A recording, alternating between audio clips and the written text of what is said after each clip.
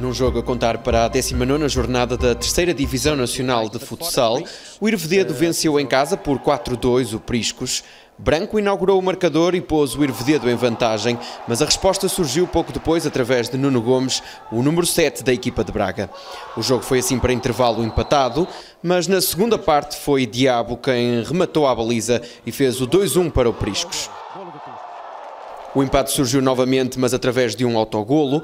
Um dos jogadores do Prisco chutou contra o guarda-redes e a bola acabou por entrar na sua própria baliza. Mas a equipa da casa não se ficou e Branco voltou a marcar, fazendo assim o 3-2. Antes do apito final, o Irvededo ainda conseguiu aumentar a sua vantagem e, num pontapé de meio campo, Tiago Guedes decidiu o resultado final da partida em Chaves.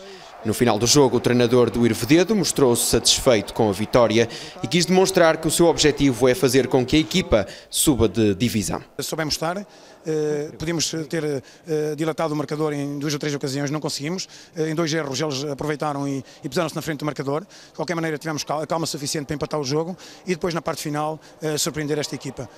Acho que estamos de parabéns, acho que a nossa atitude foi, foi digna, derrotámos um adversário que, que, que, que valorizou a nossa vitória e neste momento com esta vitória acho que se abriu mais aquilo que a gente pretende neste momento que, e posso lhe dizer que é a partir de agora que, que, que eu digo, aliás nunca o disse no princípio da época nem durante durante os jogos que a gente já fez. A partir deste momento vamos assumir que queremos um lugar nos três primeiros e vamos tentar subir divisão.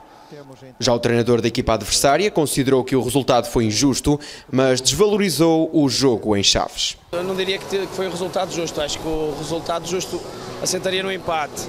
Acabámos por, eh, por cometer eh, dois erros individuais na parte final que nos, que nos custou o terceiro golo e agora o quarto golo numa reposição lateral.